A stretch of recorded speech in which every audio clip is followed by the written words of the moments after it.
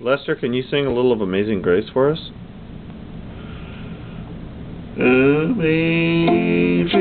grace, how sweet the sound that saved a wretch like me. I once was lost, but now I'm found. Was blind, but now I see.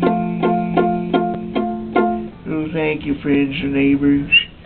That went out to our sick and shut-in friends.